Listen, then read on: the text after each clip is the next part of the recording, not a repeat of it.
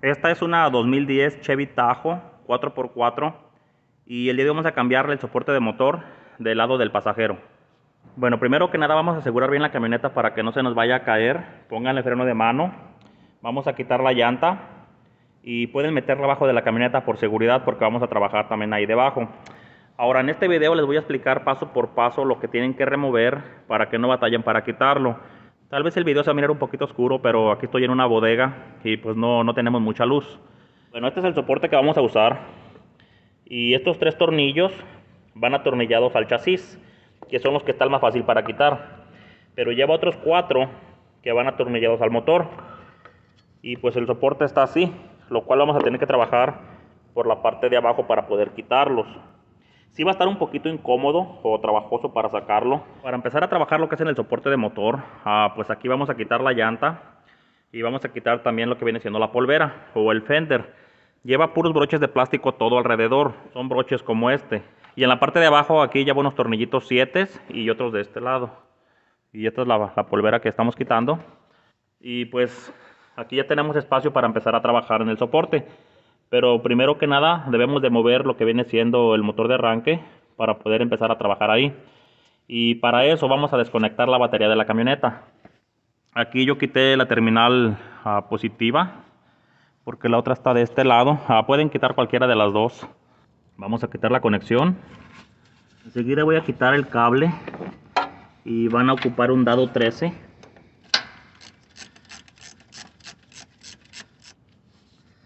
y vamos a quitar la conexión. Aquí la vamos a hacer a un lado. Bueno ya que quitaron eso enseguida vamos para la parte de abajo para quitar dos tornillos. Los tornillos que vamos a quitar aquí en la parte de abajo son medida 13 es este de aquí y aquel que está allá.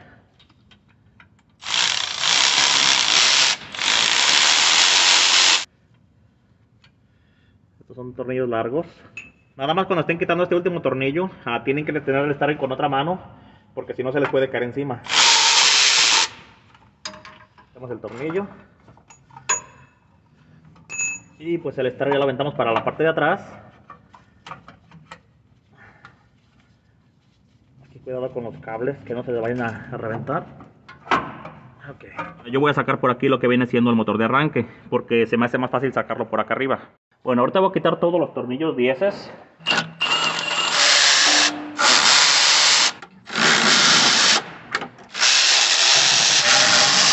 quitemos todos los tornillos. Entonces este lo vamos a bajar aquí. Y pues por aquí lo vamos a sacar. Bueno quitando eso entonces ya podemos agarrar el que viene siendo el motor de arranque. Y por aquí lo sacamos.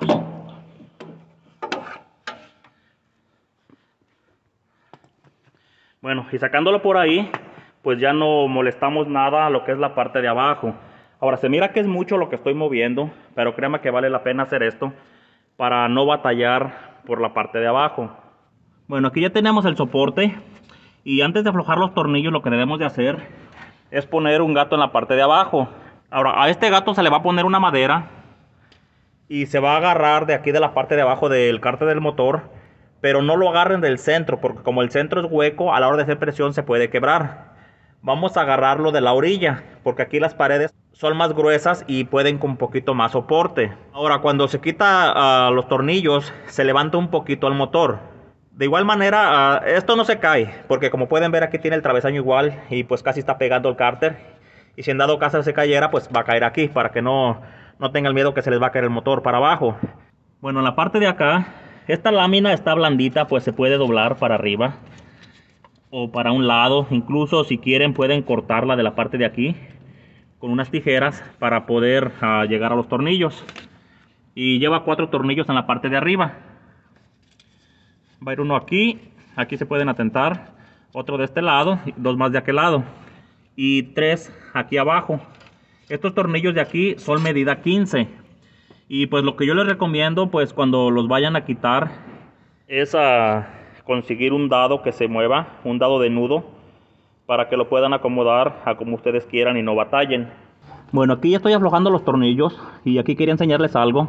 Si miran cómo metí la palanca donde está la matraca y eso lo estoy haciendo porque como el dado que, que estoy usando es un poquito largo Incluso se tiene que usar un dado como de esa medida, es como de 2 pulgadas y media. Porque si nada más meten la matraca y hacen presión, ah, se sale. Y es probable que se pueda barrer el tornillo. Entonces aquí hacen palanca para arriba y entonces empiezan a aflojar. Ahora, si no hacen palanca, pues esta parte se mueve así y se puede barrer el tornillo y van a batallar.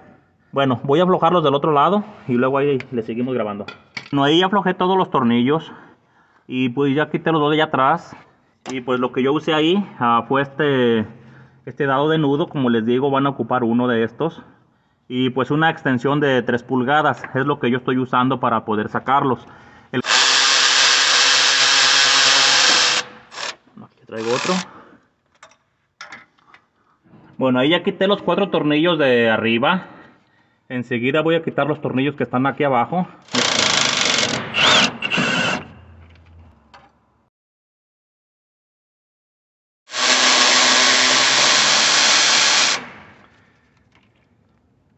Y esto es lo que estoy usando ah, para quitar el último tornillo de allá. Dos extensiones de 6 pulgadas y el dado 15 largo. Y eso es porque no hay mucho espacio. Entonces esto se tiene que quitar por acá por la parte de arriba. Estos dos tornillos. Bueno, ahí ya tengo completamente suelto lo que viene siendo el soporte. Enseguida vamos a levantar un poquito el motor para poder sacarlo. De igual manera cuando levanten el motor tienen que revisar en la parte de allá arriba que no vaya a pegar o que no esté pegando alguna línea. Si les estorba esta tapadera pueden quitarla para que suba un poquito más. Yo aquí quité el protector y si se fijan solamente tenemos como una pulgada, una pulgada y media. Nada más lo que podemos levantar el motor.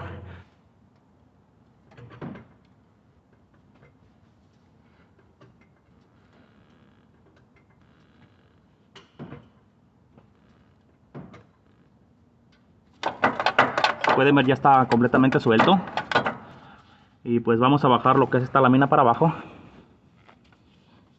bueno pero antes de empezar a sacarlo vamos a mover la varilla del aceite porque también estorba está pegando en esta parte de aquí. Y para eso vamos a quitar un tornillo 15 que está hasta acá arriba.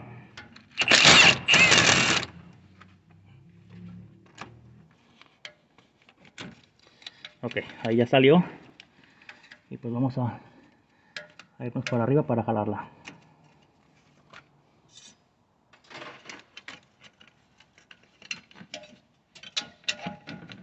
Pues parece que ahí tiene que salir. Tengan mucho cuidado aquí con el NAC sensor que no se vaya, no vayan a jalar la conexión para que no se reviente. Ok, ahí salió. Y pues yo creo que por aquí vamos a traerlo.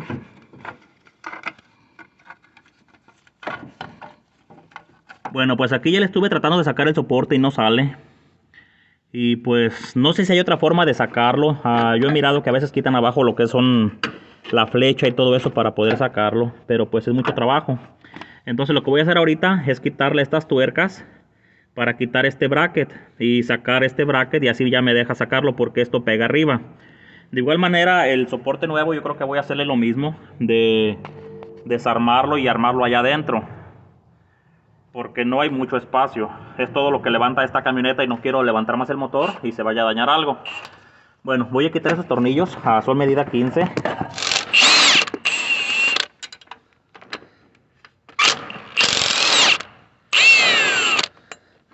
Ok. Dando esto, pues esta parte ya la, la puedo quitar. Y saco esta lámina también. Y pues yo creo que ahí tiene que salir el soporte. Créame que este es un diseño, yo creo de los peores que me han tocado para cambiar soportes. Porque en realidad está bien, bien reducido el espacio. Espero que con este video ustedes ya sepan lo que tienen que quitar y así pues ya no van a batallar. Porque créanme que yo aquí este video pues como lo edito lo hago cortito. Pero yo creo que tengo como unas dos horas tratando de sacar ese soporte. Ah, todo ese tiempo pues se lo lleva uno quitando la llanta, ah, quitando el motor de arranque, quitando el fender, los protectores y todo eso. Pues más o menos es lo que se van a aventar. Y pues para meter el nuevo vamos a hacer lo mismo. Bueno, aquí ya tengo el soporte nuevo y el soporte que quité. Y pues como siempre les digo, hay que revisar las partes que sean iguales antes de instalarlas. Bueno, enseguida que vamos a meter el soporte, yo lo tuve que desbaratar acá afuera para poder meterlo. Y pues ahí voy a ensamblarlo. Aquí metemos el protector.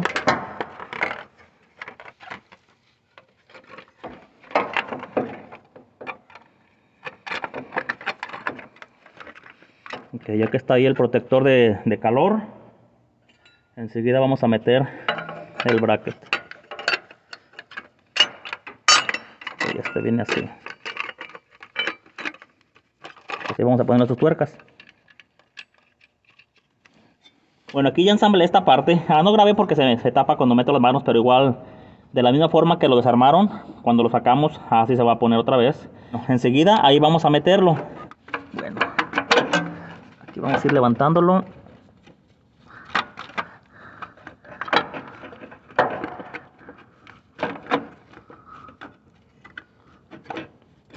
Pues aquí ya puse el soporte en su lugar. Y de la forma que pude meterlo, porque el perno que viene abajo, que alinea, apega en el bracket ahí del chasis. Entonces lo que yo hice, metí una palanca aquí donde está el amortiguador y aquí donde está el mofle, hice un poquito de palanca para arriba, porque pues ya no sube más el motor. Entonces aquí, si le hago palanca, si miran cómo se mueve un poquito, no es mucho, pero eso poquito que se levanta, pues sí, si me ayudó. Y ya que lo pusimos ahí, pues entonces hay que empezar a alinear los tornillos. Y yo creo que vamos a alinear primero los tornillos que van en la parte de acá del motor.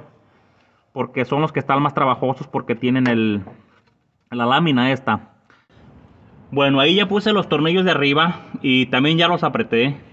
Y como pueden ver, pues yo tuve que cortar aquí la lámina porque no hay mucho espacio para poder alinear los tornillos porque no se mira.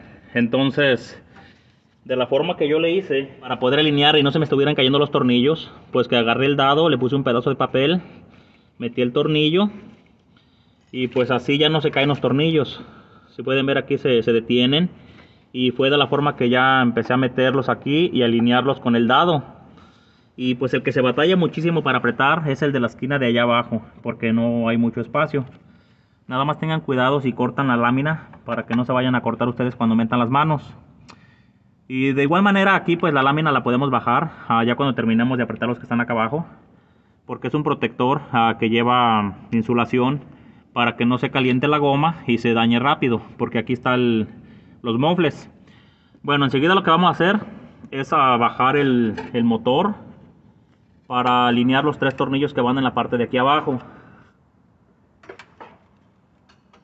Y vamos a ver si los tornillos sí quedaron alineados, porque también a veces se desalinean. Bueno, sí, sí quedaron alineados. Y en dado caso no les alinean, entonces van a tener que subir el motor otra vez un poquito y pues estarlo jalando. Pero como el soporte este lleva un doblez, si se fijan como que está en doblez, cuando entra ahí pues ya se alinea.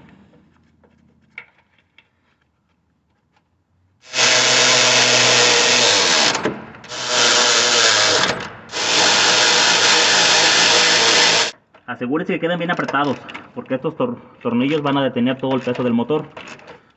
Ahí en el soporte. Ok, ahí quedó listo. Bueno, este aquí vamos a bajarlo. Bajamos este otro.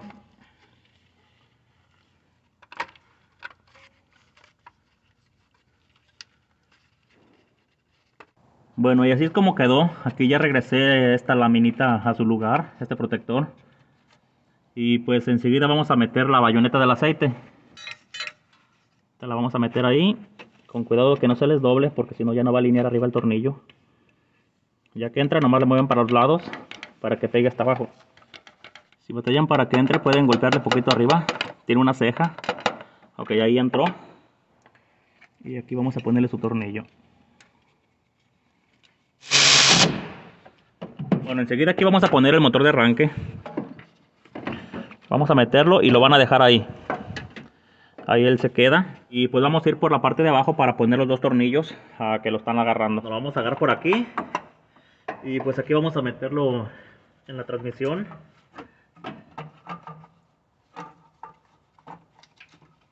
Pues ahí vamos a poner los tornillos.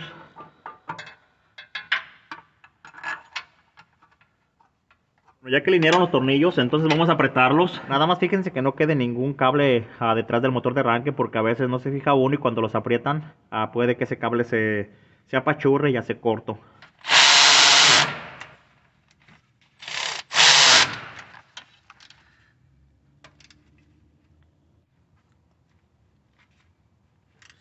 Ahí quedó listo por acá abajo. Bueno, enseguida vamos a conectar aquí la terminal de la corriente en el motor de arranque. Y como siempre les digo, es importante que revisen las terminales que estén limpias. Si tienen sarro, hay que limpiarla para que haga buen contacto. Aquí le ponemos su tuerquita.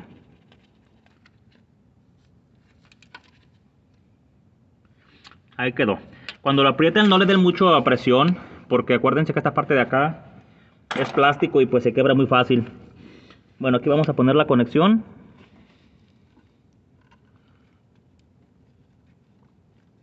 Enseguida vamos a poner lo que viene siendo el protector que venía aquí en el mofle.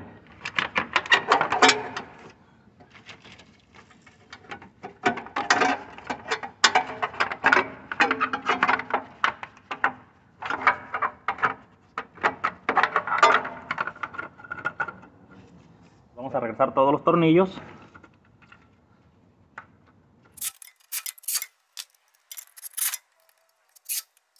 Ya que pusieron eso, vamos a revisar que no se haya quedado nada aquí suelto o que haya quedado algo mal conectado.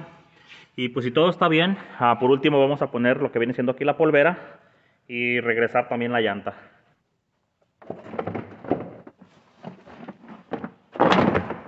Bueno, y ahí quedó terminado el trabajo. Esta es una 2010 Chevy Tahoe 4x4 5.3 y le cambiamos el soporte de motor del lado del pasajero.